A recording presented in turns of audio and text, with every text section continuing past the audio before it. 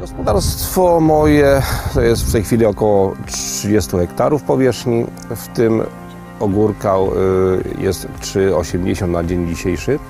Są również inne uprawy, ale tu ogórek to jest głównym y, źródłem dochodu.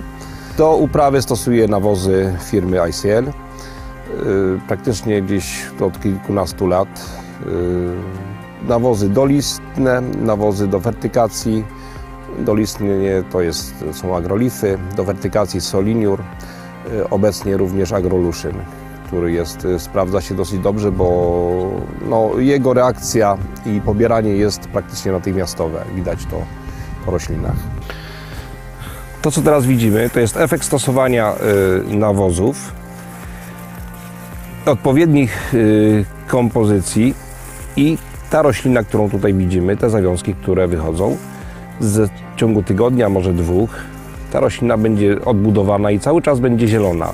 Pomimo, że y, ta roślina będzie miała już miesiąc, dwa, y, nawozy te powodują tak silny wzrost, że ta roślina się cały czas regeneruje.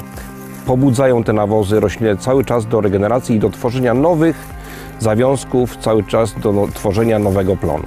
No i y, same w sobie mają, nie wiem jak się to nazywa, ale po prostu jakiś y, stymulator wzrostu, przykładowo w agrolifach, który bardzo y, daje im takiego powera, które natychmiast po prostu widać efekt Ogórki, powiedzmy blade, za, w ciągu pół dnia robią się ciemne.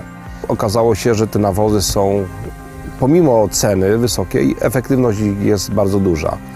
I w sumie stosując te nawozy, powiem tak przewrotnie, obniża się koszty y, produkcji, dlatego że efekt jest y, dosyć szybki i widoczny powiedzmy no w ciągu jednego, dwóch dni, jeżeli pogoda jest, to, bo widać efekt od razu po zbiorach. Akurat przy ogórku to jest najbardziej widoczne.